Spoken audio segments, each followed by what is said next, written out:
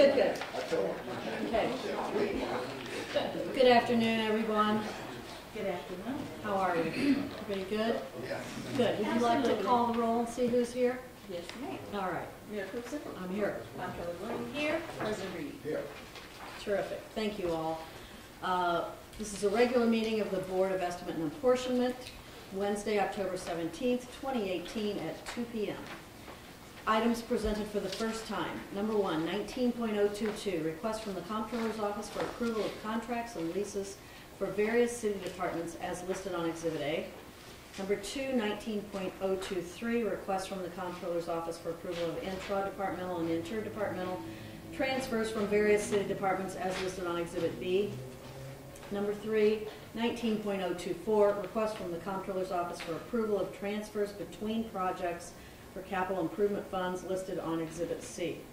Number four, 19.025, request from the Mayor's Office, Director of Operations for approval to pay an invoice in the amount of $7,122 for annual dues to the Municipal League of Metro St. Louis from Fund 1010, Department 190, account 5648000. Number five, 19.026, request from the Commissioner of Supply to, for approval to add one contract specialist to their table of organization. Number six, 19.027, request from the Director of Public Safety for approval of Board Bill 119. This ordinance authorizes an intergovernmental agreement with the United States Marshal Service and authorizes the creation of a special fund for deposit of certain funds to be used for improvements to the correctional facilities for federal detainees to be housed within the Division of Corrections. Number seven, 19.028, request from the Director of Airports for approval of Board Bill 121. This ordinance authorizes a concession agreement with Avend Co. LLC for placement and operation of vending concession machines for the traveling public at St. Louis Lambert International Airport. Number eight, 19.029, request from the Mayor's Office, Director of Operations for approval of Board Bill 133. This ordinance authorizes the St. Louis Municipal Finance Corporation to issue and sell its new revenue bonds in the aggregate principal amount not to exceed $105 million. Number nine, 19.030, request from the Director of Streets, Director of Parks, Recreation, and Forestry, Commissioner of Streets, and Commissioner of Forestry for excuse me, for approval of the following changes to the table of organization. Remove 20 positions from the Forestry Division, add them to the Street Division for the purpose of creating a debris team responsible for all uncontained debris removal services within the city of St. Louis.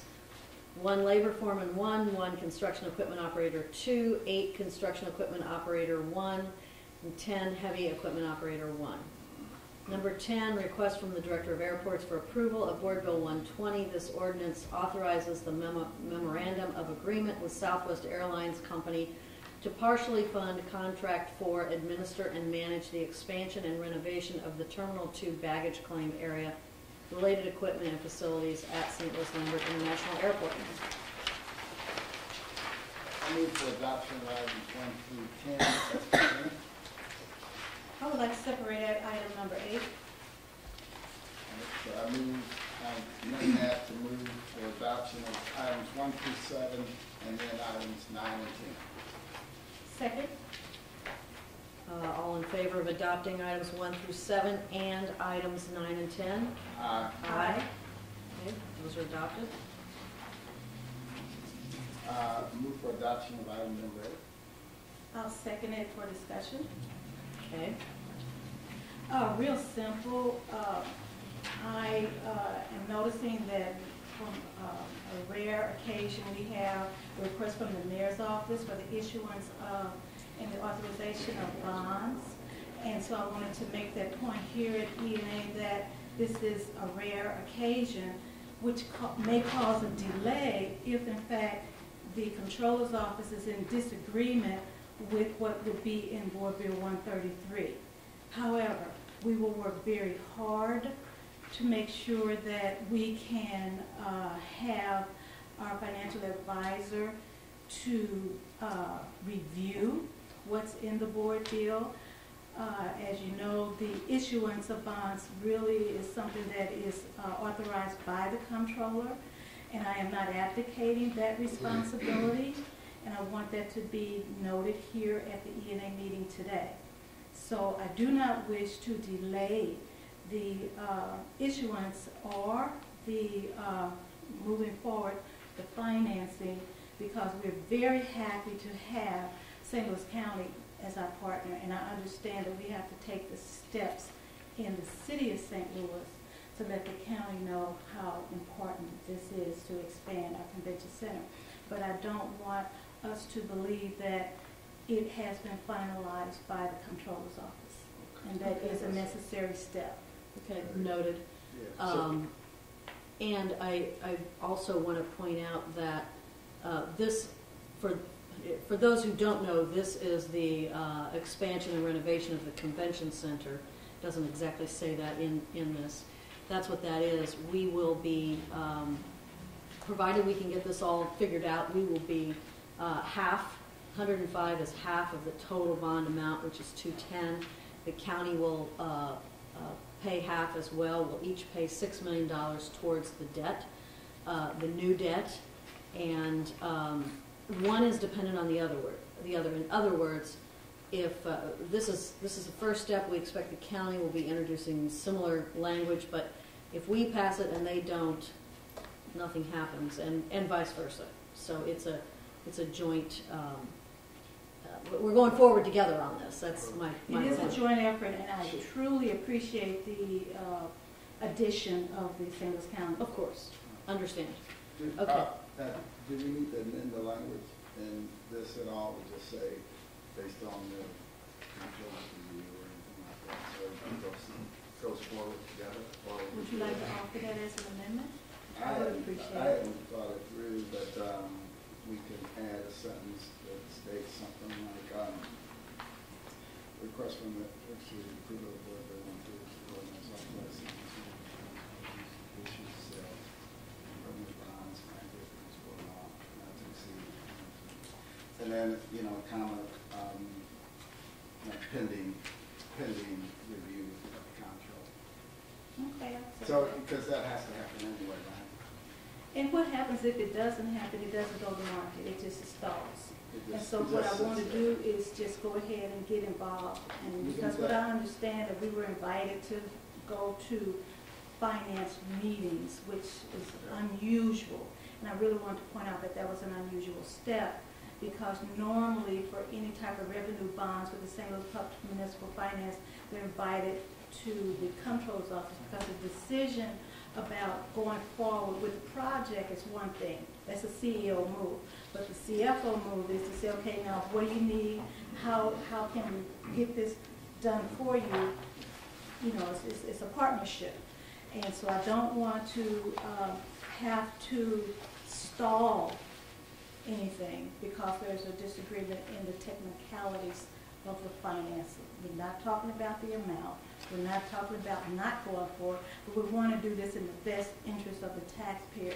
So an outsider that is not approved by my office is not necessarily somebody that I would agree with. And that makes sense to me, and how it makes sense to me is the outsider doesn't know the city's credit is best as the, the city does. We know the city's credit, and that's who this is going to depend on, not an outsider's opinion about the city's credit.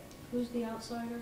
I don't know, Todd, you want to fill us in, or maybe Jim can fill us in. He was invited to a meeting to discuss the uh, financing that we were going to be going forward with, and I was stunned.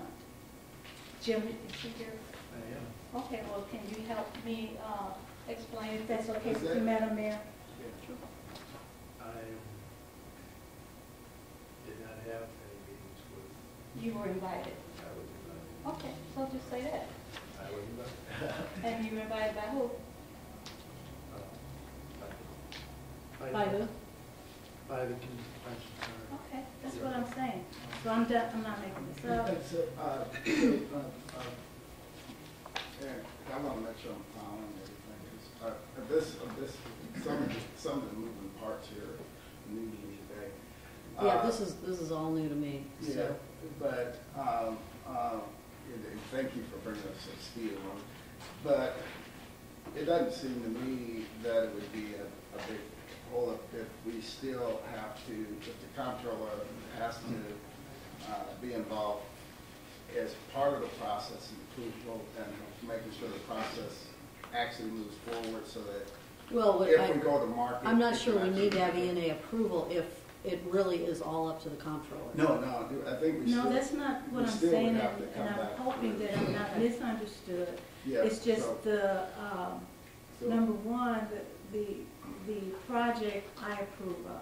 Yeah, That's number one. Mhm. And I'm Sure. not in any disagreement. want to make sure if we go Whatsoever. to market, But if you actually the- do it. Well, if there are terms in here, which was pointed out to me, there's a forty-year maturity, that's the one term, and there are other terms. And normally those kinds of terms are not put in a board bill this early without review by the financial advisor, the budget director, the comptroller's office. In other words, we're not normally dictated to about what The is terms of the the terms and what is best and in the best interest of the Yeah, taxpayer. So if in fact we find that there's a little glitch to be that will able cause us to stall or stop, I would like to just bring it up today, which is what I'm doing. Yeah. So that we won't be stalled, Yeah. and we can go forward. It is not the same as me saying that I do this alone. Yeah. What I am saying is that while I wasn't involved in whatever meetings that my deputy was invited to, I want to bring it up now so there's no misunderstanding. Sure, That's it, sure. okay? Yeah.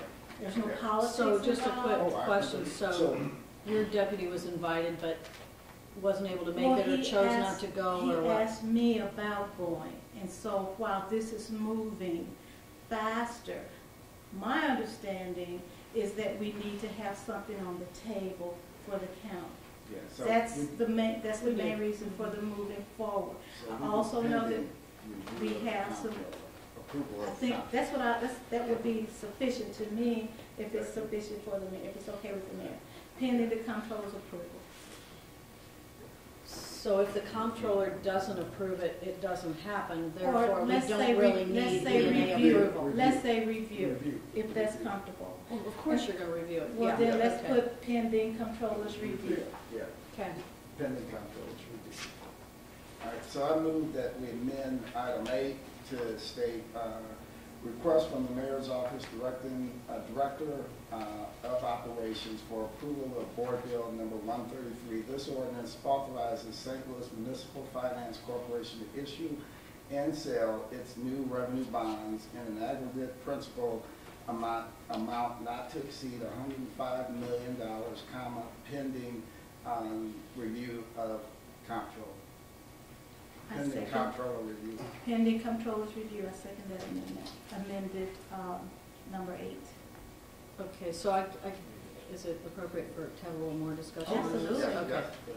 So the only thing I'm saying here is that we all have to, I mean, we're voting here uh, based on things that we've reviewed. Yeah. But you're saying you haven't had a chance to review it. I think most people misunderstand this, there's two steps. You know, once Uh-huh. we, we leave here, it goes over to the board, that's a step. But after all of that's done, you still gotta go to market. And if I'm told that, hey, we're not going to do well if we have to follow these, we need to tweak this and tweak that. And So you that, cannot actually, tie yeah. the hands of the people who are professionals that go to Wall Street and they do this day in and day out. And this is an unusual step, and I'm just simply pointing it out Okay. because I've been here, for twenty plus years that I've been doing this, and I, and I started, you know, in the budget office, and I had to learn this the hard way, so it's not like I'm coming up, Yeah, you know, all from, right. from no knowledge at all. Well, I'm learning the hard way too. So, anyway. We all have to learn the So- hard way, and I'm glad you're teaching, you know, and this is a teaching moment, Okay. and, uh, and I you for understanding. Sure, so I guess the one thing, um, I, I think maybe the way we got here is that we know what the payment has to be. The, we're each paying, city and the county are currently paying six million dollars against the dome. The dome bonds are gonna be defeased, rolled into the, uh, new bonds to expand and renovate the convention center. Um, and so perhaps they got to the terms by working it backwards I personally would love to see this be less than forty years. I'll just weigh in with that for you today. Forty years is too long on this. We're still paying seventeen and a half million dollars a year on the original convention center, which was a lot of decisions made before I ever got here with refinancings and that sort of thing. So, okay. Are we ready to vote? Yeah, you got it, so, uh. Your motion, i- we have a motion, we have a second. Motion and second. All in favor? Aye. Aye. Thank you. To Uh, have we, a, uh, we, we, we voted off to amend it, now we just need to vote to adopt Okay. it. Adopt it. Yeah, All right. So I move that we adopt item eight as amended. Second? all in favor? Aye. Aye. Okay. Now, do you have a final? I Move, move that we adjourn. All right, great, thanks. I,